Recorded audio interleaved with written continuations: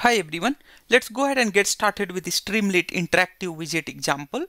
So we need to again our uh, we need to do our previous exercise again. So I'm going to press Control and J and thereafter I'm going to stop this file.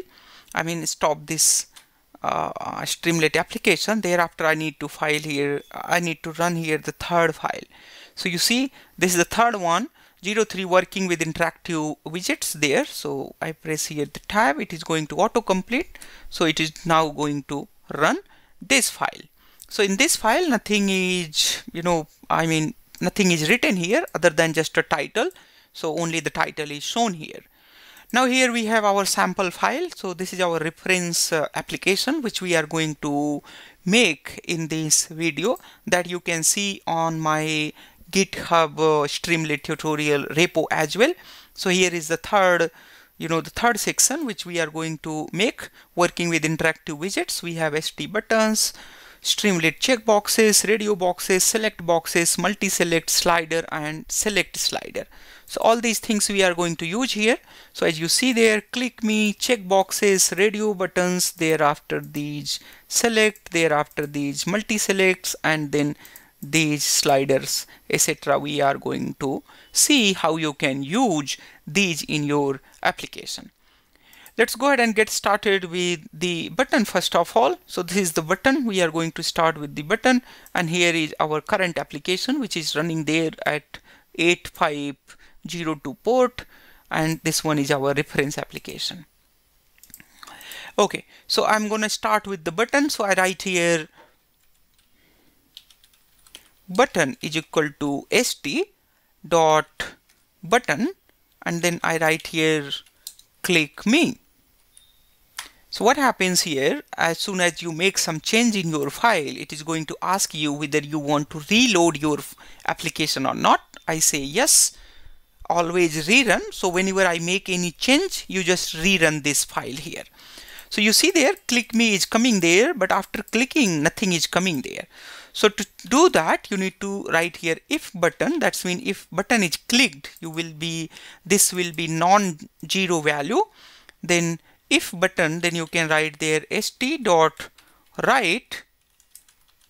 Then you can say that you clicked me. It's simple. You just click on here. It says that you clicked me. This is so simple. Perfect. Now you come here, let's go ahead and implement the radio button. So how you can implement radio button? You see these radio buttons when you have multiple options and you want to select any of these options then you can use the radio button. But in reference I've shown that we need to do for the checkbox as well. So let's go ahead and quickly implement this checkbox and then do the radio button. So I say that here checkbox is equal to st dot checkbox and then the text data age here. Check me to enable something. I'm just going to make some difference in the text data. So I'm just going to do it something like that. So you see there this check me to enable something. So this text data is written here.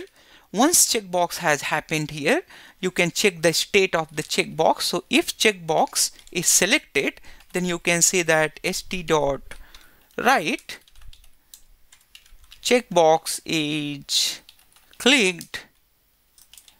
And then you can say that something has happened. Okay? So as soon as I click this I say I, I get here checkbox is clicked. Something has happened here. Okay Perfect. Let's go ahead and implement our radio button. So as I told you that whenever you have a multiple options and you need to select only one option, then you can use the radio button. So I say that here radio is equal to st dot radio and then you say that choose an option so you see how this works. So whenever you call a method from the streamlit, so first first string value, whatever the first string value you give to a streamlit uh, function, it is used as label. Thereafter options are used here. So what options I'm giving users to select. So I give options to NLP, I give options to DL, I also give option to computer visions, I also give option to ML here. Let's say I give option to my users that choose one option on which you want a tutorial. So user can select any of these options. Alright, so whatever the option is selected, that option is returned in this radio variable. You can use that st.write, you can say that you have uh, selected and then you can use this radio. So whatever the value you select that now you will be able to see that those values are reflected here. So I selected these value, any of these value, these are reflected.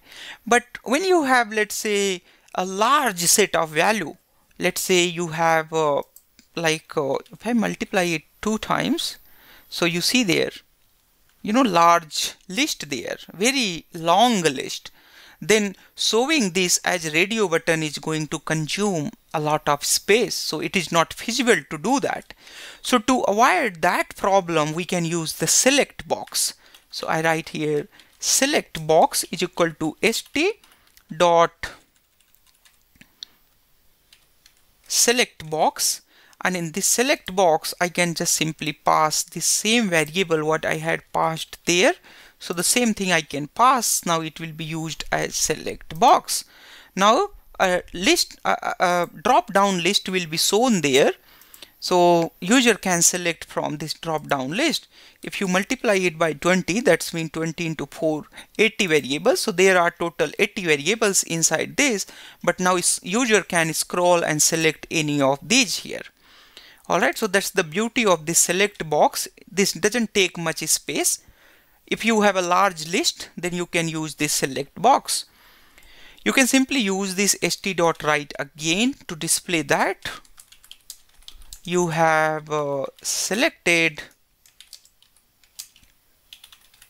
select box. So it's like that. So whatever the selection you make, you would be able to see that those selections are displayed here. That's the difference between radio and select box. Let's say if you want to give a user to select multiple option, let's say my user says that I want tutorial on NLP as well as computer vision, then how I can get that feedback. So to get that feedback, you can use the multi-select. So multi-select option is also very simple. You can write here st dot multi-select and then you can say that here choose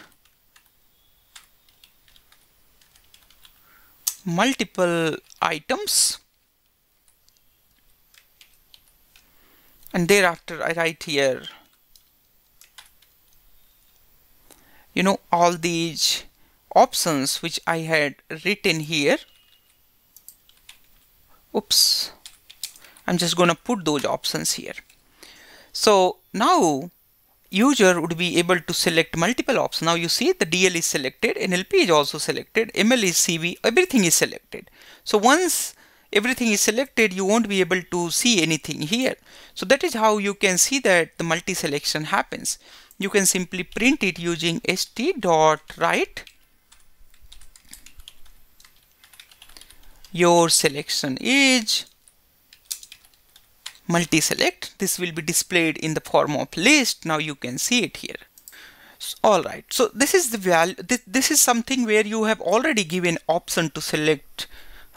Now let's say if you want to give some slider. Let's say you want rating and you want to give option 1 2 3 4 and 5 and you want to read it from the user then how would you do that? So that you can do from the slider. So I'm gonna read it into a rating variable you can write here st dot slider. And then as usual the first first variable is label for this. So I say that select your rating. And in this minimum value I'm going to define here 0 so rating rating starts actually from 1 and thereafter the max value I'm going to give a user to 5 here and thereafter a step equal to 1 that means a user can change the rating rating either 1 or user can change it 2 or user can make it 3 4 or 5 but if you make this step size to 0.5 user can also give rating like uh,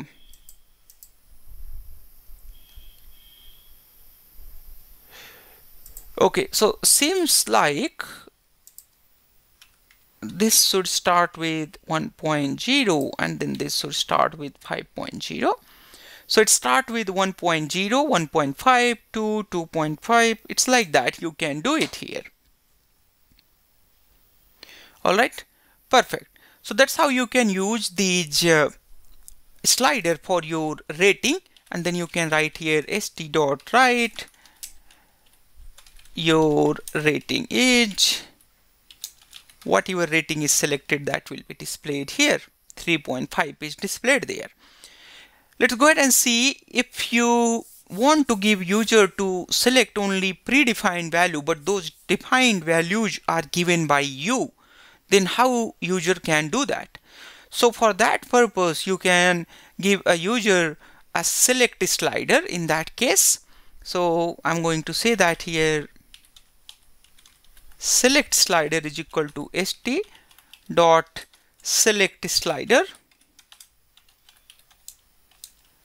I write here select value. Moreover this is kind of same thing what is shown here but the difference is here. It takes input uh, it takes these values as the input. Earlier it was taking these values as a range but now it is taking it as the input now you can ask your user to select these by sliding this. Alright, this is not a feasible option. This doesn't seem good, but I'm just telling you there is option uh, for your user to select these things. But you can also give here uh, other values as well. Let's say 0, 1 and uh, some something else whatever you decide you can give those things there. So whatever value you put in that list those will be displayed there. You can simply use here st dot write and then select slider. Then these value will be displayed here. Whatever the value you select those will be displayed here. All right. Perfect so you have seen how you can make a, how you can make, make a use of these interactive widgets from the Streamlit. This is all about in this lesson. Thanks a lot for watching this. I'll see you in next one.